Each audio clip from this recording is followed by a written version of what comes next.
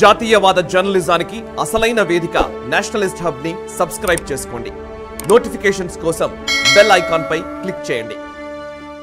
నమస్తే welcome to nationalist hub. Congress party fake న్యూస్కు brand అంబాసిడర్గా మారుతోందా? అంటే నిజమే అనిపిస్తోంది. ఆ పార్టీ ఫేక్ న్యూస్ ఆధారంగానే మనుగడ సాగించాలని భావిస్తుందేమో. అందుకే ఎడాపెడా ఫేక్ వార్తలతో సోషల్ మీడియాను దంచి పాడేస్తోంది తరువాత సరైన సమాధానం రావడం చీకొట్టించుకోవడం ఆ పార్టీకి అలవాటుగా మారిపోయింది. తాజాగా విపక్ష నేత రాహుల్ గాంధీ అగ్నివీర్పై చెప్పిన అబద్ధాలకు ఇండియన్ ఆర్మీ ధీటైన సమాధానం చెప్పింది. విపక్ష నేత చెప్పినవన్నీ అబద్ధాలే అని కుండ బద్దలు కొట్టింది. విధి నిర్వహణలో మరణించిన అగ్నివీర్ అజయ్ కుమార్ కుటుంబానికి తొంభై ఎనిమిది లక్షల పరిహారంగా చెల్లించినట్టు భారత సైన్యం బుధవారం ప్రకటించింది. అజయ్ కుమార్ కుటుంబానికి ఎలాంటి పరిహారం అందలేదని కాంగ్రెస్ అధినేత రాహుల్ గాంధీ సోషల్ మీడియాలో పేర్కొన్న నేపథ్యంలో ఆర్మీ ఈ ప్రకటన చేసింది. అజయ్ కుమార్ బంధువులకు చెల్లించాల్సిన మొత్తంలో ఇప్పటికే తొంభై ఎనిమిది పాయింట్ మూడు తొమ్మిది లక్షలు చెల్లించారని ఆర్మీ ఒక ప్రకటనలో పేర్కొంది. అగ్నివీర్ స్కీమ్ నిబంధనల ప్రకారం వర్తించే విధంగా సుమారు అరవై ఏడు లక్షల నష్టపరిహారం ఇతర ప్రయోజనాలు పోలీసు వెరిఫికేషన్ తరువాత త్వరలో తుది ఖాతా సెటిల్మెంట్పై చెల్లిస్తామని చెప్పింది. ఈ చెల్లింపులన్నీ పూర్తయితే అతని కుటుంబానికి సుమారుగా కోటి అరవై ఐదు లక్షల రూపాయల పరిహారం అందించబడుతుంది. అగ్నివీరులతో సహా మరణించిన ప్రతి సైనికుడి కుటుంబానికి త్వరితగతిన పరిహారం చెల్లిస్తున్నామని ఆర్మీ స్పష్టం చేసింది.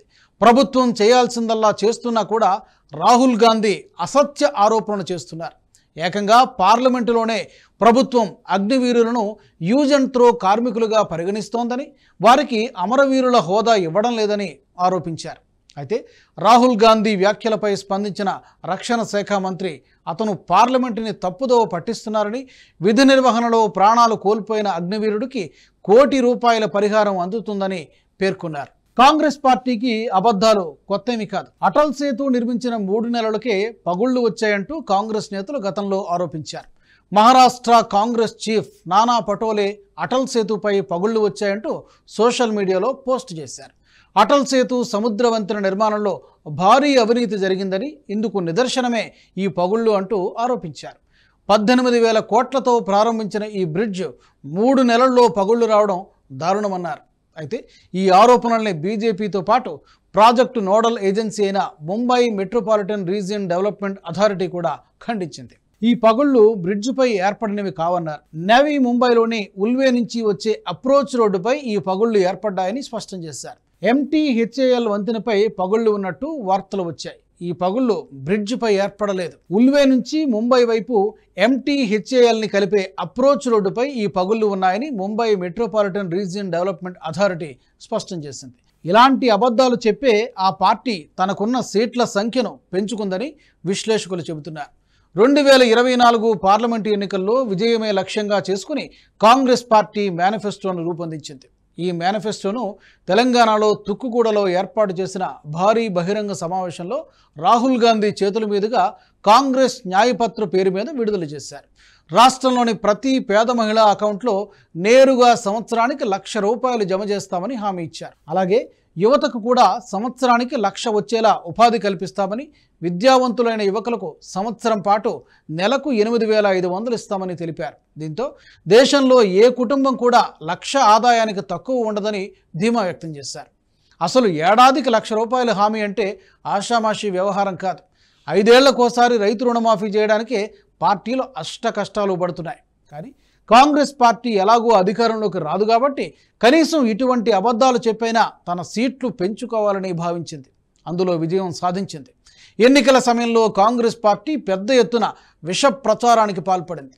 ఏకంగా కేంద్ర హోంమంత్రి అమిత్ షా వీడియోనే డీప్ ఫేక్ ద్వారా మార్ఫింగ్ చేసింది. తెలంగాణ రాష్ట్రంలో బహిరంగ సభలో మాట్లాడిన అమిత్ షా ముస్లిం రిజర్వేషన్లపై స్పందించారు. తాము అధికారంలోకి వస్తే వాటిని పూర్తిగా రద్దు చేస్తామని ప్రకటించారు. ఇప్పటికే వారికి ఇస్తున్న నాలుగు శాతం రిజర్వేషన్లు తొలగిస్తామన్నారు. వీటిని ఎస్సీ ఎస్టీ ఓబీసీలకు కేటాయిస్తామని చెప్పారు. అయితే ఈ వీడియోలో కొన్ని ఎడిట్స్ చేసి ఎస్సీ ఎస్టీ ఓబీసీలకు రిజర్వేషన్లు తొలగిస్తామని అర్థం వచ్చేటట్టు కాంగ్రెస్ నేతలు చేశారు. దీంతో ఇది కాస్త వైరల్ అయింది. దేశంలో కాంగ్రెస్ ప్రముఖులంతా దీన్ని షేర్ చేశారు.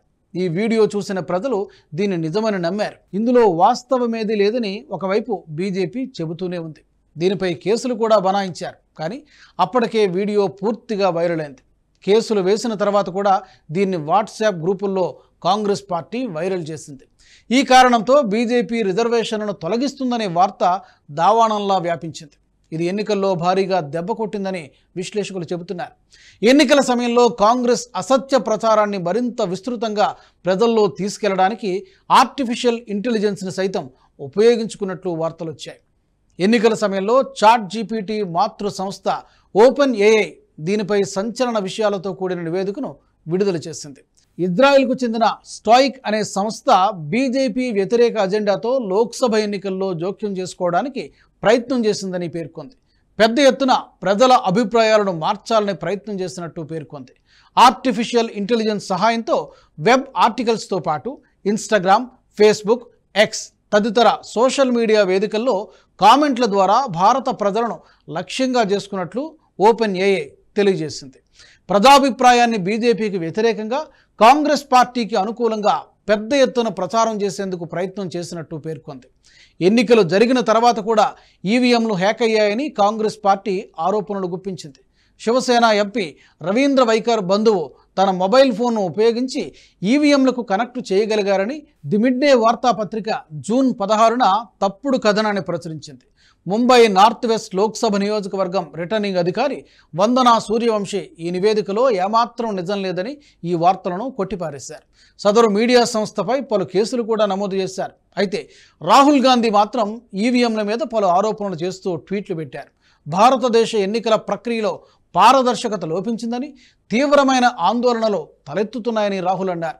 సంబంధిత అధికారులు మొబైల్ ఫోన్తో ఈవీఎంలను అన్లాక్ చేయడం అసాధ్యమని క్లారిటీ ఇచ్చినప్పటికీ రాహుల్ గాంధీ తన సోషల్ మీడియా పోస్టును ఇంకా తొలగించనే లేదు. కాంగ్రెస్ నాయకులు ప్రియాంక గాంధీ వాద్రా కూడా ఎన్నో అబద్ధాలను ప్రచారం చేశారు. నీట్ పేపర్ లీక్ వ్యవహారంలో ప్రియాంక వాద్రా ఆయుషీ పటేల్ వీడియోను తన ట్విట్టర్ ఖాతాలో షేర్ చేశారు. నీట్ పరీక్ష రాసిన లక్నోకు చెందిన ఆయుషీ పటేల్ హైకోర్టును ఆశ్రయించింది. తన ఫలితాల విషయంలో స్కామ్ జరిగిందని ఆయుషీ పటేల్ ఆరోపించింది. ఓఎంఆర్ షీట్ను ఉద్దేశపూర్వకంగా చింపేసినట్లుగా జాతీయ పరీక్షా మండలపై ఆయుషి ఆరోపణలు చేసింది. తన ఓఎంఆర్ షీట్ను మరోసారి పరిశీలించాలని ఎన్టీఏపై విచారణ చేపట్టాలని త్వరలో జరగాల్సిన అడ్మిషన్ కౌన్సిలింగ్ జరపకుండా నిలిపేయాలని కోరింది. అయితే ఆయుషి పటేల్ పిటిషన్ను హైకోర్టు కొట్టేసింది. ఆయుషి ఆరోపణలు నిజం కాదని తేలిపోయింది. దీంతో బీజేపీ నేతలు ఫేక్ న్యూస్ను ప్రచారం చేస్తున్న ప్రియాంక వాద్రాపై విమర్శలు గుప్పించారు. తప్పుడు ప్రచారాలు అసత్యాల్ని ప్రోత్సహిస్తున్న ప్రియాంక వాద్రాపై చర్యలు తీసుకోవాలని బీజేపీ నేతలు డిమాండ్ చేశారు. కాంగ్రెస్ పార్టీ ఫేక్ వార్తలను చెప్పడం ద్వారా ఎన్నికల సమయంలో బాగా లాభపడిందని చెప్పారు. దీన్ని ఒక ప్రణాళికాబద్ధంగా ప్రచారం చేస్తోంది. ముందస్తుగానే ప్రణాళికలు వేయడం ద్వారా ప్రజల్లోకి బాగా తీసుకెళ్తోంది. అయితే రాహుల్ గాంధీ ఇప్పుడు ప్రతిపక్ష నేత. కాంగ్రెస్ పార్టీ దేశంలోని రెండవ అతిపెద్ద పార్టీ.